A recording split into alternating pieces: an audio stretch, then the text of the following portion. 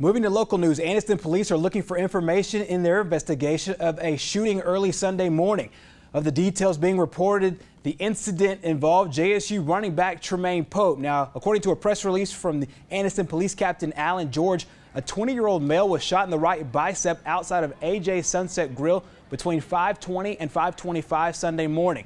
JSU officials have confirmed the victim is Pope he was treated for a non-life-threatening gunshot wound at RMC that night. Now, due to privacy laws, the extent of the injury was not disclosed, and the Anniston Police Department says barring an arrest, no further information will be released on this case.